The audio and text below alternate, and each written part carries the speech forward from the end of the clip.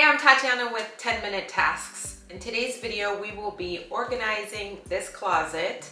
Really, it depends on you on how you're gonna organize your closet. You can watch for entertainment purposes, maybe a motivation, but ultimately you're going to organize your closet the way that it works for you. So the first thing I'm gonna do is give you a tour of the closet and why I'm putting each thing in that specific place. We have a shelving area, which up top I put a candle and our photo albums. On the second shelf, I have my son's diapers and his socks and underwear in a packing cube. In the right metal basket, I have my husband's socks and underwear. And in the left metal basket, I have my socks, underwear, and bras. If I had more hangers or drawers, I definitely would organize this closet differently.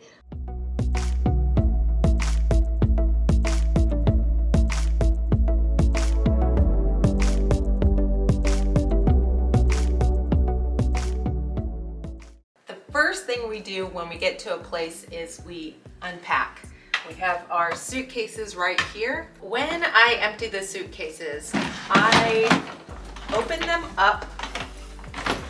Some people open up their suitcases on the bed and I just think, you know, your suitcase has been around and putting it on a place where you sleep, I don't think it's as sanitary. When people move around a lot, there's potential for bed bugs. So make sure when you get to a new place, just check the bed.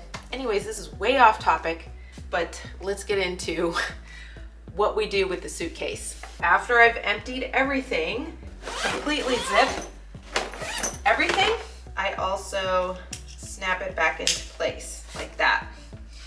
And then I'll close it. It's easier to close like this. Okay. And then I'm going to put it into the closet with the handle on the outside so I can grab it easier. Just like that. So then if I want it, I can just grab the handle right here okay? And we all have different suitcases in all different colors. I think that's super important if you're traveling a lot with your family is to have your suitcases different colors and also colors that are different from everyone else too. You don't want black or something very gray or dark green or anything like that. You want bright colors. Like this one, for example, I would say is on the more common side. So I wouldn't recommend this color, but colors like blue, and a, and a bright, shiny burgundy red, I think are good colors. Everywhere we go, it's a different setup. So these are my husband's clothes, with the exception of Mark's jacket here right now. Pants and jeans right here. We have tank tops, and we have regular shirts, color coded, and then we have collared shirts and then in the back, we have jackets. There's things that I wasn't able to put on a hanger. I have so many hangers. I actually grabbed all the hangers from the whole house. We have way too many clothes. We don't have the right hangers in here. Our son has very little clothes. And so these big adult hangers are too big. So the top shelf for our son is shorts, pants and jeans, casual shirts, dress up shirts, and all pajamas. Okay, so these are my husband's shorts, which are on my side of the closet, but that's okay. We only have so much room up here and we're trying to separate each of the clothing items by category. And so if his category is still is going into this area that looks like my space, it's okay because at least we have the categories up on top this way and then we have a hers and his side of the closet where the hanging clothes go. I have my husband's casual shirts here and his shorts. And then these are my shorts and then these are my tank tops. And then I have my pants on hangers. I don't have enough hangers to have one set of pants on each hanger, which I think looks so much better. If you have to put two pants on one hanger, it, it works. It doesn't look that bad. And it's still hung so you can see what kind of pants you have. And I have also a set of pajamas on the same hanger, which will make it easier for me to grab my pajamas at night. Okay, and then I have my bathing suits, which are also sharing a hanger. And then I have a tank top right here, which actually should go up into the tank top area.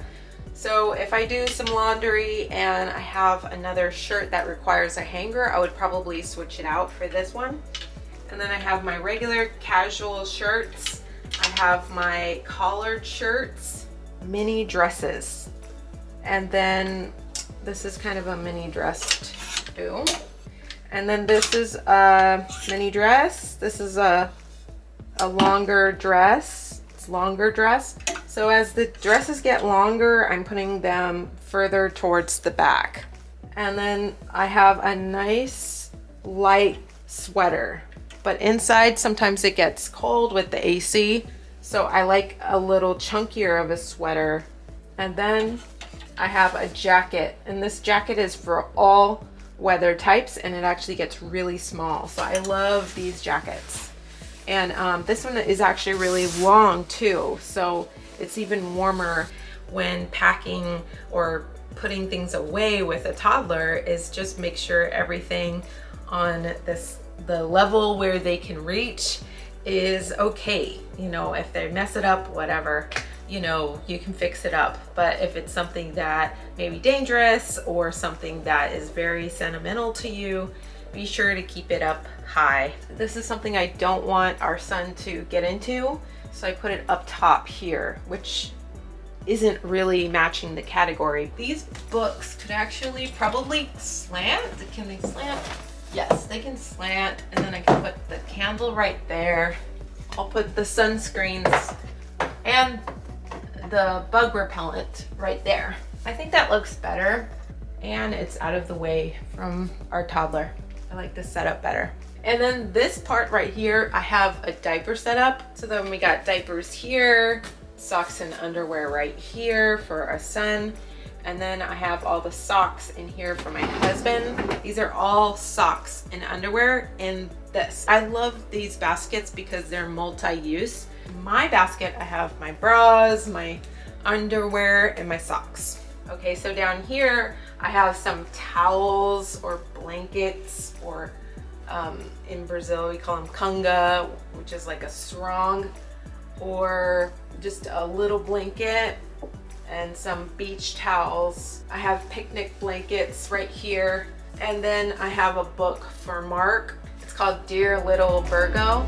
Hey, so that's how I would keep our family closet organized. Of course, you would probably do it different. If you liked this video, give it a thumbs up. You can also subscribe to my channel and tap the notification bell too to be notified of the very next video. Thanks for watching and we'll see you in the next one. Take care. Peace.